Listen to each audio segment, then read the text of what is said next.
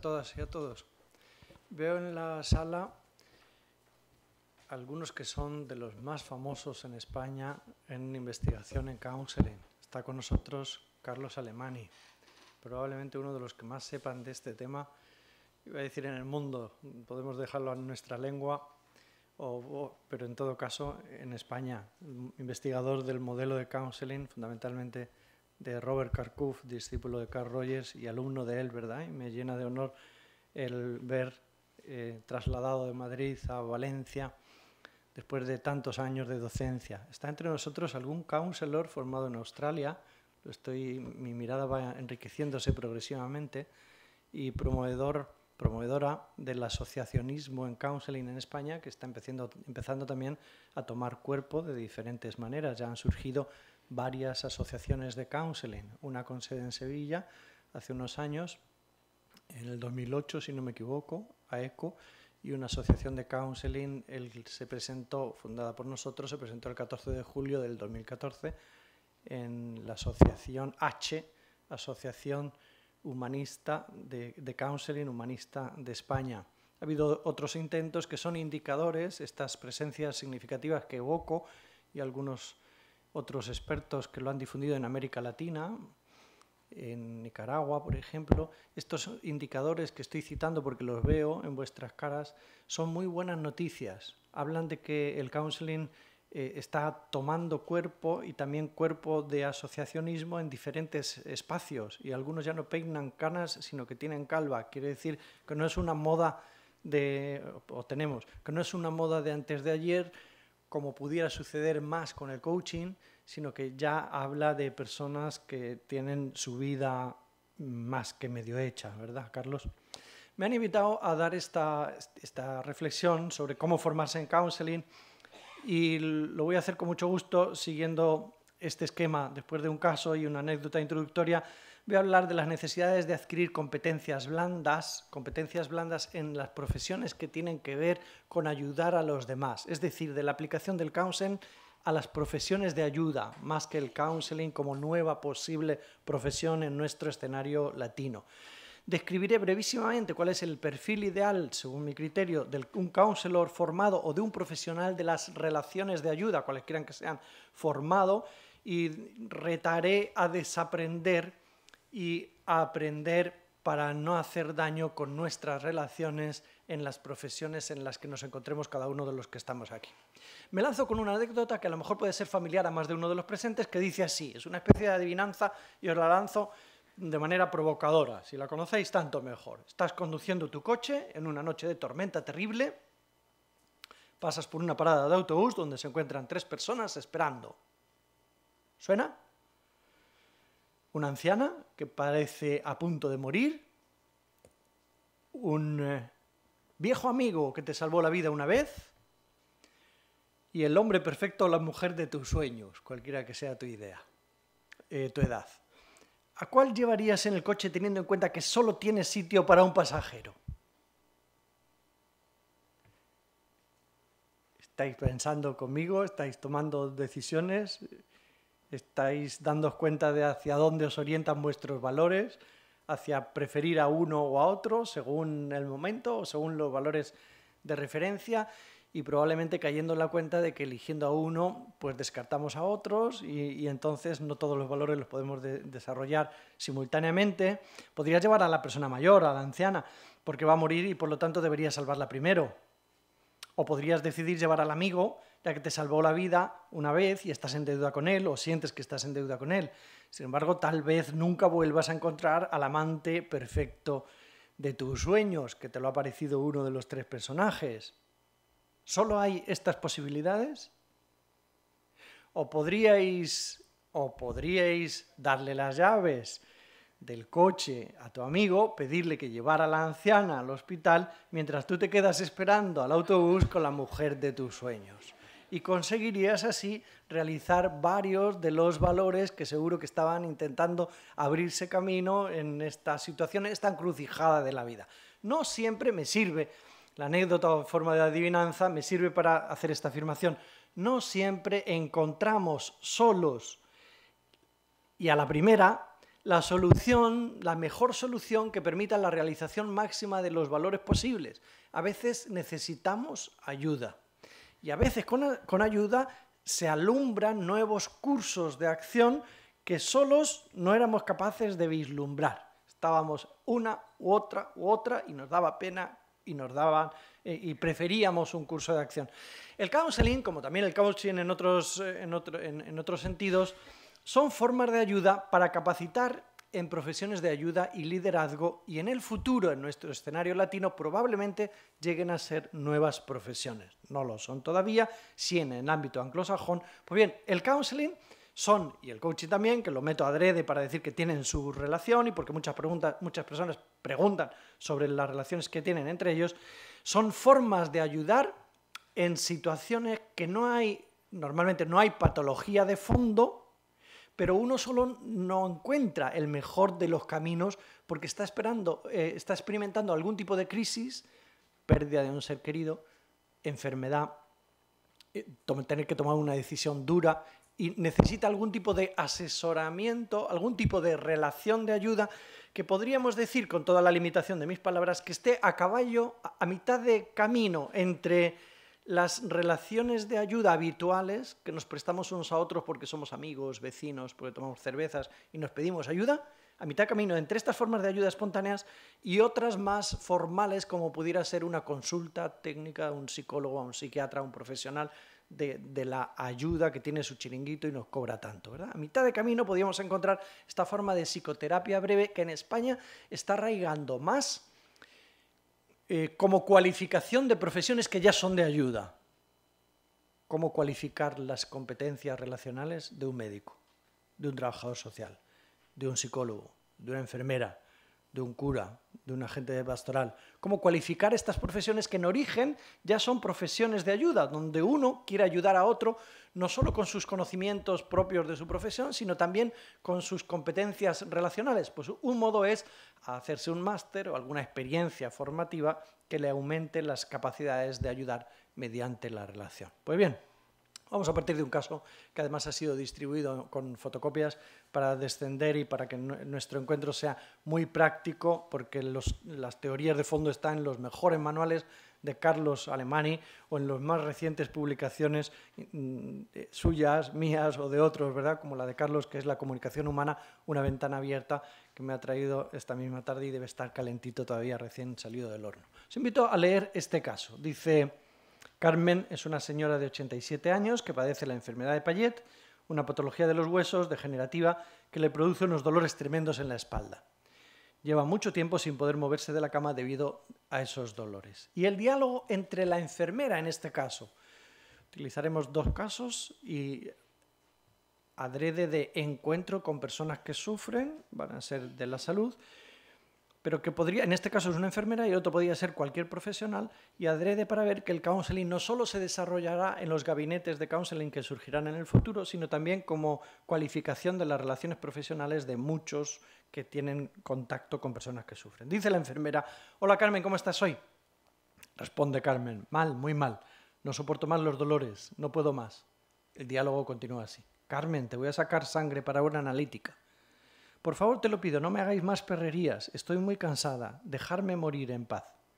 Carmen, es por tu bien. No quiero más sufrimiento. ¿Te parece poco lo que llevo pasado? Los médicos creen que hay que hacértela, dice la enfermera. No, por favor, no me hagas más. Tú precisamente que me conoces, sabes lo que he sufrido durante estos años. Déjame ya. Escribe la enfermera al transcribir la conversación. No podía casi ni hablar. El nudo que tenía en la garganta impedía expresarme. Le saqué sangre y salí de la habitación. Al rato volví para ponerle una sonda nasogástrica. Los médicos lo habían ordenado. Carmen, tengo que ponerte una sonda. Me cuesta hacerlo. Lo siento, pero la necesitas y tengo que hacerlo. Sigue escribiendo la enfermera. Mientras se la ponía intenté contener mis sentimientos. Pero mis ojos se humedecieron. Con mis palabras intentaba animarla diciendo que ella lo estaba haciendo muy bien y que a mí me estaba resultando muy fácil. Me estoy muriendo. ¿Por qué no me dejáis? Estoy preparada. No digas eso. Nadie sabe el tiempo que te queda. Sí lo sabéis, no me engañes. Sabes que no puedo aguantar días. Las dos sabemos cuántas situaciones difíciles has superado, un infarto, una pancreatitis aguda, neumonías. Sí, es verdad, pero antes tenía fuerzas, ya no me quedan. Se me empañaron de nuevo los ojos, ella lo percibió, sigue escribiendo la enfermera, le coge la mano Carmen y dice, Carmen, la paciente, la única satisfacción que tengo es teneros a vosotras. Tiene mucho dolor, ¿verdad? Sí, quitarme estos dolores y dejarme. Quiero morir ya. Voy a ponerte un calmante y ya verás cómo descansas. Yo quiero otro descanso, es el único descanso que deseo. Ahora vengo, dice la enfermera. Voy a por el calmante, a la vuelta me dice, Ana, cuida mucho a tus hijos, quiero que los veas crecer, que seáis muy felices, y cuida mucho tu espalda, que no tengas que pasar este sufrimiento que estoy pasando yo. Lo haré, de verdad. Carmen murió esa misma tarde. Probablemente una conversación de este tipo necesitaría ser discutida, analizada y desmenuzada.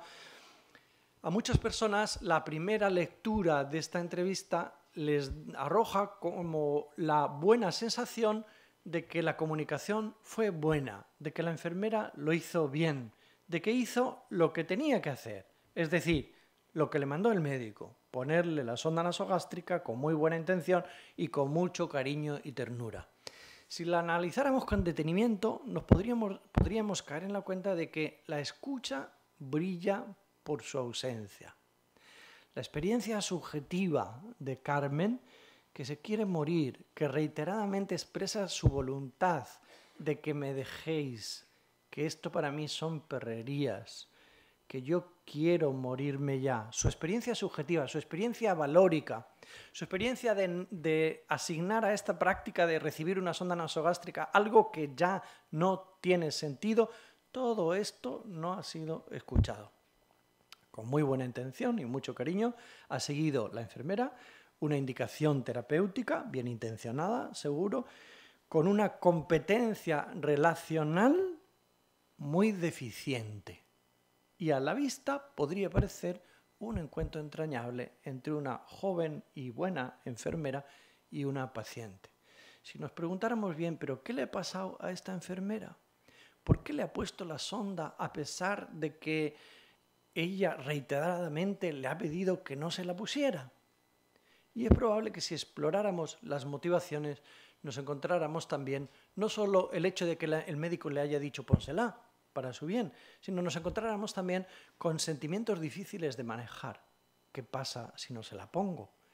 y si me muere, ¿qué pasa con ella o qué pasa con el médico si tengo que decir, mira que no la quiere? ¿no? ¿Qué pasa si voy a hablar con el médico y le digo, Carmen no quiere la sonda, ¿qué hago? Me tendré que enfrentar con el médico o deliberar con el médico, tendré que hablar y escuchar también con el médico, además de con Carmen, a quien en realidad no le he escuchado. ¿Qué pasa si se me muere en mi turno? ¿Me sentiré culpable? ¿no? ¿Qué pasará esta noche cuando me vaya a la cama y Carmen se me ha muerto en mi turno, siendo así que no le he puesto la sonda que el médico me dijo que se la pusiera? ¿no? El mundo de la comunicación, el mundo de los valores, el mundo de los sentimientos se dan cita en las relaciones con las personas que sufren y no basta la buena voluntad. Escribía Tony de Melo que había una vez un mono que estaba colocando a un pez en la rama de un árbol con mucha delicadeza y ternura para evitar que se ahogara. Atención, que tiene su aquel, ¿verdad? El mono estaba intentando ayudar al pez para que no se ahogara, tenía muy buena intención, colocándolo en la rama de un árbol y lo estaba haciendo, he dicho, con mucha delicadeza y ternura. Sin duda no estaba respondiendo a las necesidades que tenía el pez. Con muy buena voluntad y con mucha delicadeza y ternura podemos no responder a las necesidades de los destinatarios. Por eso, este caso me sirve a mí para lanzar el reto que tenemos los profesionales de profesiones de ayuda, todos los sanitarios, todos los de los servicios sociales, todos los de atención psicológica y todos los, del ámbito educativo, el reto que tenemos de añadir a las competencias técnicas que ya adquirimos en nuestra, en nuestra carrera, en nuestro pregrado, otras competencias que parte de la literatura, de la literatura le, le ha dado por llamarles blandas y que en el caso que acabamos de leer brillan por su ausencia. Por ejemplo, la competencia relacional hay mucho analfabetismo relacional en personas muy inteligentes de inteligencia intelectiva. Diríamos, hay mucho torpe social en personas con, muchos conocimientos teóricos, porque no son lo mismo las competencias de la, de la racionalidad, de la inteligencia intelectiva, que las competencias relacionales. También me sirve el ejemplo para retar la necesidad, para, para, indicar el reto que tenemos de adquirir competencias emocionales. ¿Cómo gestionar los sentimientos cuando nos encontramos con una persona que sufre? Los nuestros, no solo los de los demás. Y creo que en muchas carreras universitarias cuyo fondo es acompañar al alumno a prepararse para ayudar a otros, no hay suficiente alfabetización emocional, educación emocional, para acompañar a los profesionales aprender a gestionar los sentimientos, sobre todo los que producen displacer, ¿verdad? La ansiedad, la rabia, el rechazo, la tristeza, como para gestionar nuestra propia vulnerabilidad y nuestras propias heridas. Me sirve el ejemplo también, el de Carmen que acabamos de leer, para lanzar, para evidenciar el reto de adquirir competencias éticas, es decir, capacidades de detectar la conflictividad ética. En el caso que hemos leído, en el de Carmen y la enfermera, hay claramente un conflicto ético entre para quien le resulte familiar el paradigma principialista a la hora de examinar y escudriñar los mundos, el mundo de los conflictos éticos, hay un conflicto ético entre el principio de beneficencia, yo te quiero hacer el bien poniéndote una sonda, y el principio de autonomía. Eso para mí no es un bien, nos dice Carmen. Hay un conflicto ético. Lejos de, lejos de despejarlo ahora con la idea de que estemos ante un sencillo dilema, sencillamente queremos levantar acta de que estamos ante un complejo problema. Y tenemos el reto de adquirir competencias éticas que nos permitan detectar la conflictividad ética y analizarla eh, deliberando y ponderando las razones que haya en mí, en el otro, y si trabajamos en equipo, tanto mejor, para buscar el mejor de los cursos de acción entre los seis o siete que nos vendrán a la mente inmediatamente en cuanto tengamos un mínimo de competencia ética. En este caso, el que hemos leído que nos sirve de trampolín, hay también la, nos sirve también para presentar la necesidad de adquirir competencia espiritual. Cada vez se habla más de inteligencia espiritual y de competencia espiritual que, supera la necesidad de conocer las categorías religiosas con las que una persona interpreta su propia realidad o, se posiciona ante, ante el mundo de las creencias, ¿verdad? La competencia espiritual nos invitaría a decir, a ver, estoy ante Carmen que se está planteando el mundo del sentido, no solo el sentido inmediato de una sonda nasogástrica, que está claro que es alimentar a una persona que no puede tragar, ¿verdad? Sino el último sentido, ¿qué sentido tiene para mí la vida o intentar prolongarla ahora con esta indicación supuestamente terapéutica? ¿Qué sentido tiene? Y Carmen nos dice, para mí ya no tiene ningún sentido. ¿Cómo gestionar las relaciones que quieren ser de ayuda? Cuando está en juego el mundo del sentido, el mundo de la trascendencia, el mundo de los valores, cómo gestionarlo nos puede ayudar a adquirir competencias espirituales, competencia espiritual. Y cada vez más el cruce de culturas y los movimientos migratorios nos retan la necesidad de comprender también a las personas que tienen una cultura diferente a la nuestra. Porque cuando paciente, ayudado, digamos en términos genéricos, no solo sanitarios, ayudado y ayudante son de culturas diferentes, o el ayudante conoce un poquito de la diversidad cultural o no se entera de cómo está interpretando y viviendo subjetivamente el otro su propia realidad. Pues bien, el mundo del desarrollo del counseling en nuestras coordenadas actuales españolas, en este momento para lo que más está sirviendo es para ayudar a los profesionales de la ayuda a adquirir competencia profesional. He dicho competencia profesional. Yo estoy enojado un poco, un poco cabreado con, con el uso de la expresión competencia profesional. Porque si miráis a la diapositiva me sirve para explicarme. Porque me parece, le he puesto en el frontispicio de este templo, ¿verdad? Porque me parece que con frecuencia muchas personas hablan de competencia profesional haciéndolo sinónimo de la primera de las columnas, de competencia técnica, competencia científico-técnica. Hasta el punto de que también nos atrevemos a decir, mira, este médico, esta enfermera, este psicólogo es muy buen profesional, pero a nivel humano como contraponiendo la dimensión técnica a la dimensión humana, pero convirtiendo la dimensión técnica en profesional, como si la dimensión humana no fuera parte de la competencia profesional. Pues yo creo que tenemos delante de nosotros el reto de promover, para humanizar las profesiones de ayuda, promover que las personas sean buenos profesionales. Y ser un buen profesional de cualquier ámbito de la relación, de la ayuda mediante la relación, comporta adquirir, además de las competencias técnicas, las competencias relacionales, emocionales, éticas, espirituales y culturales.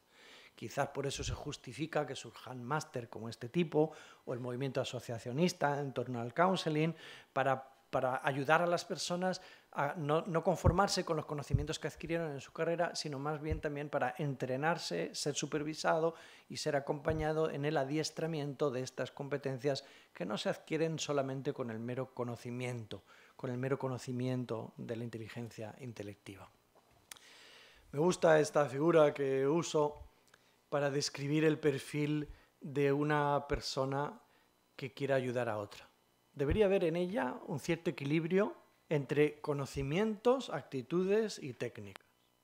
Me sirve la figura porque simbólicamente sitúo los conocimientos en la cabeza, las actitudes en el corazón y las técnicas en las extremidades. Hay muchas personas que quieren ayudar a otras y responden más bien a este perfil, que tienen muchos conocimientos que están en la mejor de las disposiciones interiores y que les faltan las técnicas.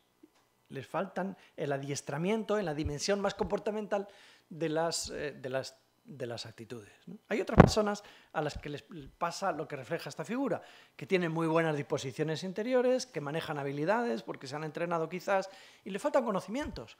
Por ejemplo, conocimientos para detectar que en el caso que hemos leído había un conflicto ético. Muchas personas no detectan que ahí estamos ante un conflicto ético. A otras personas les pasa lo que refleja esta otra figura, cualquiera que, sea su proveniencia profesional, digamos, que poseen muchos conocimientos, se han adiestrado en técnicas y les faltan les falta purificar las motivaciones más interiores por las que hacen algo. Si nos preguntáramos por qué esta enfermera le puso la sonda a Carmen, la de nuestro ejemplo, pues podríamos decir, pues porque se lo ha mandado el médico, porque lo necesita para alimentarse y no puede por la vía natural. Si nos preguntáramos muchas veces o le preguntáramos a ella, más de una vez saldrían motivaciones no centradas en las necesidades del destinatario, sino más bien en, en la necesidad de purificar el motor último que nos lleva a hacer algo pretendidamente de ayuda para el otro. A mi juicio, el perfil ideal de una persona que quiera ayudar a otra persona en situaciones de dificultad, de cambio, en alguna encrucijada de su vida, sería aquel en el que hay un cierto equilibrio entre saber, saber hacer, saber ser y conocimiento y manejo de la propia vulnerabilidad, lo que representaría la tirita, ¿verdad? Conocimiento y manejo de la propia sombra en términos junguianos o de, los propios agujeros negros, si lo queremos decir de manera metafórica. El counseling, que aterriza en la década de los 80, si no, no sé si mucho antes, en nuestras coordenadas mediterráneas, no sé si mucho antes, Carlos. El counseling nos ayuda a ayudar a los profesionales de la ayuda, valga la redundancia, adquirir un cierto este equilibrio deseado, ¿verdad? A que el médico sea un buen médico, porque además de los conocimientos de su profesión, tenga sanas actitudes que se traducen en técnicas y que gestione sus sentimientos y que por lo tanto sabe dar bien una mala noticia, sabe procurar soporte emocional, sabe mm, acompañar a la familia que está angustiada al lado de su ser querido, sabe que la angustia no va contra él y no se lo toma como algo personal, sino que es una reacción espontánea ante la situación que está viviendo, la valida y la coge en vez de entender que es un ataque personal. Muy bien, el counseling nos sirve para ayudar. He puesto ahora mismo el caso del, médico como podía poner el caso del trabajador social o de la enfermera o de cualquier o de la agente de pastoral o de cualquier profesional que quiere acompañar en el sufrimiento. Yo creo que tenemos un gran reto de aprendizaje que Carlos recogió en aquel libro 14 aprendizajes vitales, uno era el desaprendizaje, ¿verdad? Tenemos el gran reto de desaprender y lo vamos a, intentar masticar con la lectura de otro caso que tenemos fotocopiado. Me da la impresión de que mm, muchas personas intentamos ayudar a otros como hemos aprendido y en buena medida hemos aprendido por osmosis. ¿Qué decir cuando alguien me dice que está mal? Pues que ánimo hombre, que con el tiempo todo se cura, que hay que tener esperanza, que no cae una hoja sin que Dios lo quiera, que, y si seguimos nos saldría una buena colección de frases hechas, tópicos típicos tópicos, topos, lugares comunes que hemos, con los que hemos construido frases y qué decir cuando no sé qué decir. Pues tiro de frase hecha porque en el fondo así me defiendo o en el fondo así me posiciono en un escenario de menor vulnerabilidad para mí o de menor sufrimiento. Puede ser a lo mejor el caso de este ejemplo que tenemos a continuación y que leemos. Dice, he aquí una visita a la señora María de 34 años, casada y con dos niños. Ha sido operada hace tres días haciéndosele una mastectomía total. Le han quitado un pecho, supuestamente por un tumor. Con frecuencia explota con llantos y suspiros. La señora María es joven y muy hermosa, intelectualmente de buen nivel, es licenciada en pedagogía. Y el diálogo, ahora ya no entra la enfermera, podemos imaginar que era cualquiera de nosotros, cualquiera de los que estamos aquí presentes. El diálogo entre nosotros y María podría haber sido probablemente en estos términos. Me acerco a su cama, buenos días, señora María o querida María, si es nuestra amiga. Buenos días. ¿Cómo se encuentra hoy? ¿Cómo quiere que me encuentre después de todo lo que me ha sucedido? Es verdad, le comprendo perfectamente, pero no tiene que desanimarse tanto. No encuentro la paz. Me han mutilado para toda la vida y no sé si volveré a casa con mi marido. Mujer, le dice el visitante, no piense eso. Su marido estará muy triste por lo que le ha pasado y ya verá cómo le querrá todavía más. Ahora lo que tiene que hacer es pensar en sus hijos. No piensa en ellos. Sí, me acuerdo mucho de ellos. También ellos me dan pena. Son muy pequeños y tienen necesidad de todo. Eso, lo que necesitan es una madre serena y buena. Desconsolada. Pero ¿por qué el Señor me estará castigando a mí? ¿Qué he hecho yo de malo? Señora, no es bueno hacerse la víctima. Es difícil aceptarlo. Pero no hay más remedio. Sí, ya, dice María, pero es muy difícil para una mujer joven verse privada de tanto. María me coge la mano y empieza a llorar, escribe el visitante. No se olvide de entrar en mi habitación, necesito mucha ayuda. No se preocupe, que nos tiene aquí para lo que nos necesite. Hasta luego, hasta luego. Así tiene lugar este, este diálogo que yo creo que es paradigmático de, Habría que investigar qué porcentaje de personas se relacionan con este talante, este estilo relacional. A mí me parece que sobrevive en exceso, que es un estilo relacional claramente a desaprender si nos preguntásemos, ¿se habrá sentido comprendida María por el bienintencionado visitante? No lo sabemos, habría que preguntárselo a ella, pero habría que preguntárselo a ella. Pero si nos preguntásemos también, ¿las respuestas que el visitante da a María son indicadores de haber captado la experiencia, el mundo emocional, el mundo subjetivo, único que María está viviendo y que muestra con sus expresiones, que aquí solo tenemos fundamentalmente las verbales y algo de lo no verbal, que es lo más importante al fin y al cabo, dan muestras las respuestas de haber hecho eco em, empático de comprensión, pues yo creo que podríamos decir, deja mucho que desear, ¿verdad? Suspendida. Me voy a permitir en este caso hacer un análisis un poco más minucioso. Pongamos a, y con este otro recurso, pongamos a María en el, en el centro de nuestra atención y al visitante vamos a ir leyendo cada una de las intervenciones. Me acerco a su cama, buenos días, señora María. Esto no es ni más ni menos que un saludo y no merece, creo yo, una mayor atención. A no ser que queramos decir que saludar saludar es dar salud, ¿verdad? Y que empezar los encuentros de ayuda saludando no siempre lo conseguimos los profesionales, los profesionales de la ayuda, sino que a veces empezamos de manera mucho más fría sin dar salud saludando, ¿no? Aquí empieza saludando y ya tiene medio punto si, si tuviéramos que evaluarlo, ¿no? ¿Cómo se encuentra hoy? Esta es una pregunta, es una pregunta abierta, puede ser un formalismo, a mí no me suena mal porque es una pregunta abierta que permite al ayudado, a la paciente en este caso, responder como le da la gana. ¿no? Hay otras preguntas que no son abiertas, y hay diálogos que empiezan de otra manera, como por ejemplo, hoy estás mejor, ¿verdad María? O peor todavía, qué bien te veo. Con lo cual ya es una proyección nuestra sobre el otro en lugar de una disposición a la escucha con una pregunta abierta, como es este caso, que a mí me parece que está muy bien, ¿no? Una pregunta abierta. Pongamos asterisco en el centro del círculo ahora cada vez que vayamos escuchando algo de la experiencia personal de María transmitida, sobre todo con el lenguaje verbal, que es lo, más, que lo que más tenemos en este caso. ¿Cómo quiere que me encuentre después de todo lo que me ha sucedido? María aquí comunica mucho, pero de manera muy vaga, muy genérica. Nos lo dirá de manera más concreta a continuación. Mirad la respuesta. La respuesta es, es verdad, le comprendo perfectamente.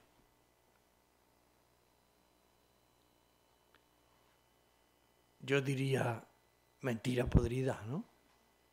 pero si, si estáis iniciando un diálogo, ¿cómo vas a comprender perfectamente a quien lo único que te ha dicho es cómo quiere que me encuentre después de todo lo que me ha sucedido? Todavía no te ha narrado. Y, aún después de narrarte, ¿cómo te permites decirle comprendo perfectamente? La comprensión de la experiencia ajena es bien difícil como para responder a una persona diciendo te comprendo perfectamente. Alguien podría justificar, pero bueno, esto es un formalismo que quiere transmitir un poco de comprensión. Bueno, pues si abundamos en formalismos y en respuestas hechas, probablemente al final la persona no se sentirá comprendida en su experiencia personal. Atención a cómo sigue, pero no tiene que desanimarse.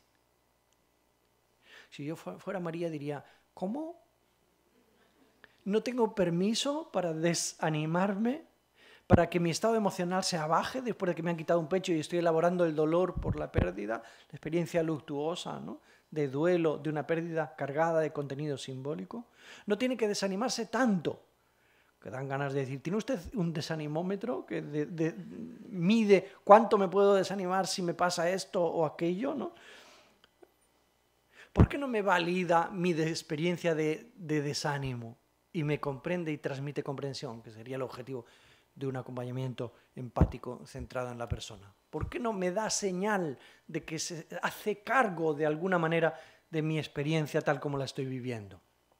La respuesta sería probablemente porque no tiene esas competencias blandas que hemos citado antes y que a lo mejor hay que ir a adquirírselas a base de análisis de casos y de dejarse supervisar y de, y de explorar también ¿Cómo nos sentimos nosotros cuando otro nos acompaña de manera superficial y de manera eh, con, tópicos típicos, como es, el caso que estamos analizando, ¿verdad? Una mentira y, un tanto que nos llama la atención. Y María continúa. Dice, no encuentro la paz. Prestemos atención, hagamos el esfuerzo por, por escuchar. Porque María con las palabras nos dice mucho. No encuentro la paz. Me han mutilado dan ganas de decir, espera, que me, estás diciendo muchas cosas juntas y en poco tiempo y sobre todo se habla al ritmo normal, ¿verdad? Yo me estoy parando. Me han mutilado para toda la vida y no sé si volveré a casa con mi marido. Por un lado habría que decir gracias María porque me estás regalando tu experiencia interior con tanta generosidad de palabras y de elementos, aspectos concretos de tu experiencia. Sin embargo, mirar cómo es la respuesta del visitante. Es, mujer, no piense eso. Otra prohibición, en lugar de validar lo que estaba experimentando. Su marido estará muy triste por lo que le ha pasado, no sé quién se lo habrá dicho, está muy triste, probablemente es, otra frase hecha, otro tópico, y ya verá cómo le querrá todavía más. A mí esto me suena una palmadita en la espalda, ánimo mujer que te va a ir bien, en realidad no sé cómo te va a ir, pero, pero te digo esto porque no sé qué decir, ni sé hacer eco de lo que tú estás viviendo y has transmitido con tu expresión tan rica anterior. Ahora lo que tiene que hacer es pensar en sus hijos. Nos podemos fijar cómo abundan los imperativos también. En muchos ayudantes que en vez de ponerse al mismo nivel del otro y caminar juntos tímidamente con humildad, humus, ¿verdad? con humildad, ponerse al mismo lugar, bajar al terreno, a la tierra del otro, en vez de ponerse en esta disposición, los imperativos salen con mucha frecuencia y por eso estamos hablando de la necesidad de desaprender y hacer el máster de la Universidad Católica en relación de ayuda y counseling para adquirir competencias blandas, ¿verdad? Ahora lo que tiene que hacer es pensar en sus hijos, no piensa en ellos. Una prohibición, una palmadita en la espalda y desviar el tema pensando en sus hijos, cuando ella lo que estaba haciendo era pensar en sí misma y narrando el modo personal cómo está viviendo su propio duelo por la pérdida de una parte simbólica de su vida y de su cuerpo. ¿no? María continúa, Probablemente tenía razón suficiente, razones suficientes para decir, señor visitante, sea usted quien sea, si es posible, déjeme en paz. 100 kilómetros a la redonda, por favor, de distancia, porque entre usted y yo no sé si hay voluntad de encuentro, pero, pero lo que está trayéndome son tópicos típicos, frases hechas, imperativos, prohibiciones, en lugar de dos orejas y una boca, como decía Zenón de Lea, para disponerse a regalarme la escucha que necesito y la validación de mi experiencia que la estoy pidiendo a gritos. ¿no? María continúa, a pesar de todo. Sí, necesito, eh, necesito mucho de ellos. También ellos me dan pena. Atención, una mujer joven, operada hace tres días, de un tumor, está diciendo, con hijos pequeños, dice, me acuerdo mucho de mis hijos también ellos me dan pena, son muy pequeños y tienen necesidad de todo. A lo mejor inferimos mucho si decimos que esta mujer claramente está experimentando miedo a la muerte. Pero a lo mejor no inferimos tanto si escuchamos el fondo emocional que se esconde detrás de las palabras y si no es esto lo que siente, podríamos provocar con alguna respuesta empática que salga los sentimientos que están escondiendo estas palabras, que no son solo lo que son, sino que significan algo muy personal. Sin embargo, la respuesta es esta. Eso, lo que necesitan es una madre serena y buena, que a mí me parece algo así como un juicio moralizante cruel. Si yo fuera María diría, pero que te estoy hablando de la preocupación de mis hijos. ¿Cómo me, ahora me reclamas que no estoy a la altura de lo que están necesitando? Poco antes te dije que no encontró la paz, lo contrario de serena, y que estaba pensando en no volver a casa con mi marido, lo contrario de buena, y tú me levantas el, el listón para mostrarme que no estoy a la altura. Da la impresión de que de eso se trata lo que tenemos delante, ¿verdad? Desconsolada, pero ¿por qué el Señor me estará castigando a mí? ¿Qué he hecho yo de malo? Esto que parece una pregunta o dos preguntas porque tiene punto interrogativo, es más bien un desahogo, ¿no? La mujer se está desahogando. Es algo así como un poco de liberación emocional de la rabia. ¿Por qué me tiene que tocar a mí? Cualquier grito, cualquier expresión, cualquier palabrota podría haber contenido la misma carga emocional que este tipo de preguntas lanzadas al vacío o a Dios en el caso del creyente. ¿Por qué a mí? ¿Qué he hecho yo? ¿no? Hay carga emocional susceptible de ser recogida, de ser comprendida. En cambio, la respuesta es esta. Señora, no es bueno hacerse la víctima. Otro juicio moralizante. Es difícil aceptarlo, pero no hay más remedio. Otro juicio moralizante y una generalización que le serviría para cualquiera. Es difícil aceptarlo, pero no hay más remedio. Se lo podríamos entregar a cualquiera en cualquier situación de necesidad. María continúa. Es una mujer paciente, es una mujer paciente, está siendo ayudante del ayudante al fin y al cabo. Probablemente se estén cambiando los roles, ¿no? está diciendo, mira, te permito que estés aquí a pesar de las barbaridades que estás haciendo conmigo con tus respuestas o, el escasísimo nivel de conexión que está habiendo entre nosotros. Y continúa diciendo, sí, ya, pero es muy difícil, muy difícil para una mujer joven verse privada de tanto. ¿Qué cantidad de contenido hay en pocas palabras? Curiosamente, por su iniciativa, le coge la mano al visitante y empieza a llorar y le añade, no se olvide entrar en mi habitación que necesito mucha ayuda. Y la respuesta, después de esta generosa también comunicación personal por parte del, ayudado, es, no se preocupe que nos tiene aquí para lo que nos necesite. Hasta luego. Una oferta genérica de disponibilidad que en la práctica no se ha traducido para nada en el estilo relacional del ayudante. Me sirve este diálogo que he analizado también de manera muy personal, podríamos, si de un taller se tratara, aportaríamos reflexiones contrastantes entre nosotros, ¿verdad? Me sirve para evocar la necesidad de desaprender mucho de lo que por osmosis hemos aprendido a la hora de acompañar a las personas que sufren. Creo que hay mucho que desaprender, hay mucho que callar, hay muchas frases que decimos que habría que meterlas al bolsillo porque del bolsillo las hemos sacado, no las hemos sacado de la escucha, no son palabras que nacen de la genuina escucha, sino que son tópicos que los tenemos para defendernos de la difícil implicación emocional con el que sufre. Muchos profesionales terminan justificando, justificándose diciendo, es que no me puedo implicar en la vida de, los, de las personas a las que ayudo. Lo que deberían decir es que es que no sé implicarme y desimplicarme saludablemente. Y por eso me defiendo para no quemarme, no sé regular el grado de implicación emocional con el sufrimiento ajeno porque no he aprendido a prevenir el, síndrome del burnout y necesito hacer un máster en counseling, relación de ayuda, o necesito dejarme supervisar digámoslo de manera muy concreta también, necesito dejarme supervisar por mí mismo, por mí mismo, planteándome la pregunta, ¿cómo estoy yo acompañando a las personas que quiero ayudar mediante la relación. Con imperativos, con frases hechas, con flechas que lanzamos sin mala intención, sacando al pez del agua y colocando en la rama de un árbol. Yo creo que tenemos el siempre reto de crecer como ayudantes reflexionando sobre nosotros mismos, ¿no? de desarrollarnos como potenciales ayudantes que lo somos también sin querer. Ayuda nos la piden hasta en la calle, en el autobús, ¿verdad? Prepararse en relación de ayuda yo creo que es un reto de todo ciudadano, tanto más de aquel que por profesión decida acompañar a personas que sufren por cualquier motivo, ¿no? En el ámbito de la salud, social, educativo u otros, ¿no? Y no se puede aprender si no hay, a mi juicio, prácticas reflexión sobre sí mismo y dejarse interpelar por otras personas que nos ayuden a analizar el estilo relacional. Pues bien, en estas últimas décadas, como decía, ha aparecido en nuestro escenario, estaba siempre, relaciones de ayuda han estado siempre, ¿no? Siempre la condición humana ha llevado a hacerse solidario del sufriente. Pero en estas últimas décadas ha aparecido en nuestras coordenadas, pues de la mano de, Carl Rogers en los años 60 y sus discípulos y algunos investigadores y algunos que contribuimos más a difundir que a investigar, ha aparecido este mundo del counseling y del coaching después, con otros objetivos que en alguna manera algunos los quieren relacionar y yo quería dedicar una sola palabra para decir cómo, para reducir su vínculo pero dado que nos reúne esta tarde counseling en relación de ayuda, quería traer esta palabra del coaching, ¿verdad?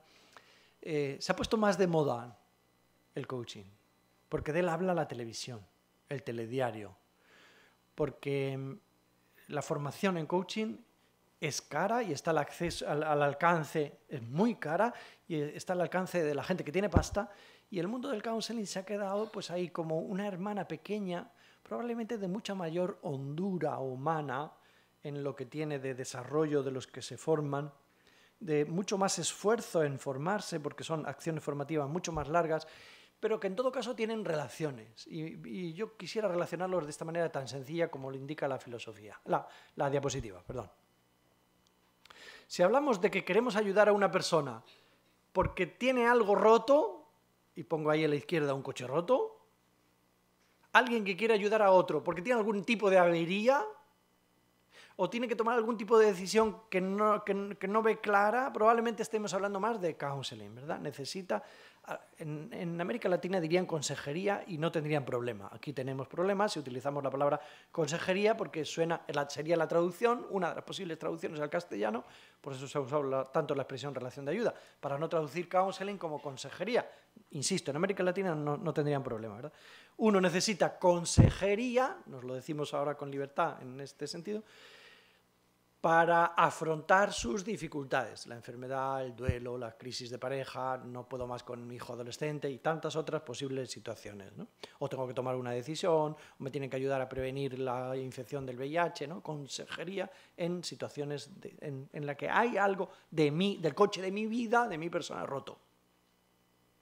Hay otras situaciones en las que no parece que yo tenga nada roto, pero personalmente o mi jefe ha decidido que me haga alguna acción formativa porque tengo un Ferrari, pero en el fondo no le estoy sacando el partido que tiene. En el fondo soy un Ferrari, sirva la metáfora, es decir, tengo muchas más potencialidades de las que estoy desplegando y alguien me vendría bien para que me iluminase la potencialidad de mi motor y le sacase el máximo partido posible. En este caso a lo mejor necesitamos más un coach, que es un, acompañante, un entrenador de mis... Eh, un empoderador. Muchas de estas cosas las podríamos aplicar también al mundo del counseling, ¿verdad? Pero con esta diferencia de alguna avería, entre otras, porque toda la comparación será siempre limitada. Y en el otro caso, el deseo de desplegar el máximo de mis potencialidades en el ámbito profesional, en el ámbito organizacional o en el ámbito del liderazgo. Esta podría ser una de las posibles relaciones, como también otra podría ser esta, ¿no? El mundo del counseling, como se ve en la diapositiva en la parte izquierda, requiere mucho más conocimientos de psicopatología o de psicología, ¿no? Y menos conocimientos del ámbito organizacional, y el mundo del coaching suele requerir o infundir o ayudar a, desplegar mucho más, menos conocimientos de psicopatología y de psicología y más conocimientos del ámbito organizacional, tal como se está difundiendo ahora, si bien hay que decir que se están abriendo campos que, hacen que se crucen mucho más, ¿no? porque se están desarrollando nuevas líneas, coaching para la salud y counseling en el ámbito organizacional, con lo cual las relaciones y los vínculos cada vez serán más difíciles de desbrozar y hay que decir que en todo caso pues el fondo es la misma psicología humanista y la misma convicción de que las personas tienen más posibilidades de las que aparentemente parece. Y le podemos desde fuera, con, eh, un conjunto de actitudes, la tríada rogeriana, por ejemplo, ¿no? empatía, aceptación incondicional, consideración positiva y autenticidad, le podemos ayudar a desplegar el máximo de sus posibilidades para afrontar dificultades más el mundo del counseling o para conseguir el mayor de los éxitos posibles más el mundo del coaching. En estos momentos, a título ilustrativo, podemos decir que también está promoviéndose el mundo del asociacionismo, os lo decía al inicio. Creo que es una buena noticia, además del mundo de la formación de posgrado, los máster, ¿no? Si uno quiere hacer un máster en España ahora, tiene varias posibilidades. Como título propio se puede ir a Barcelona, máster como título propio, la Universidad Ramón Llull se puede ir a Madrid como título propio, la misma universidad, aunque en Madrid, o como eh, título oficial eh, se puede ir a la Universidad Católica de Valencia. Que es una muy buena noticia, yo creo que es un momento histórico en España, es decir, por primer máster oficial en relación de ayuda y counseling. Asistimos a su nacimiento, que permitirá también el refuerzo del mundo del asociacionismo que es, otro camino, ¿verdad? Es las personas que, estén, que se hayan preparado, esperemos que sean las personas que se hayan preparado, que se hayan preparado bien, que se asocien para promover, pues por ejemplo, que, esto se convierta en una nueva profesión o que aterrice más en el campo, el campo muy necesitado como es el campo de la salud o el campo de la intervención social o el campo muy necesitados de adquirir competencias blandas. Os decía al principio que ya existen varias asociaciones en España y dejarme terminar para dar paso a las posibles preguntas o intervenciones que maticen lo que yo he dicho, diciéndonos el, el counseling se puede, se podría asemejar algo así como ayudar al otro a sacar su estatua de dentro, ¿verdad? No, se trata tanto de ayudar al otro a que pinte un cuadro, el cuadro de su propia vida, de su propia biografía, porque pintar es poner color, es añadir, mientras que esculpir es quitar, es quitar lo que sobra para que emerja lo que de alguna manera estaría dentro. El counseling es algo así como ayudar al otro a esculpir su propia biografía, a desvelar, a hacer emerger su propia identidad, lo mejor de sí mismo. Imaginemos Miguel Ángel esculpiendo la piedad, ¿verdad? Al principio sería un bloque de, piedra y la piedad estaba dentro. Pero hay que ayudar a esculpir, hay que quitar lo que sobra. Más que añadir con pintura, hay que quitar lo que sobra. Esta metáfora me parece que, me parece que es buena, a mí me gusta. Dice, decía Miguel Ángel, todo lo que la mano del escultor puede hacer es romper el hechizo y liberar las figuras dormidas en la piedra. Algo así puede ser el counseling, ayudar al otro a, a romper el hechizo y liberar lo que hay, la persona que hay dentro con sus potencialidades.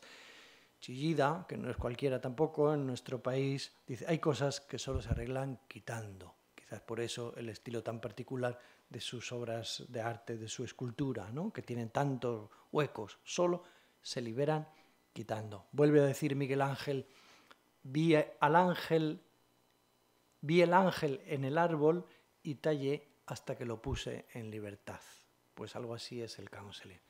Ver las creer profundamente, en las apostar profundamente en las potencialidades del otro, aunque esté enfermo, aunque esté en duelo, aunque esté al final de su vida, aunque esté en una situación de exclusión y marginación, creer en el otro, apostar firmemente por él y ayudarle a esculpir la mejor imagen de sí mismo para sí mismo y para los demás. Este es el reto que tenemos todos y queremos promover pues, nuestras competencias blandas para acompañar en el sufrimiento con relación de ayuda o con lo que nos pueda aportar el counseling. Muchas gracias por la atención.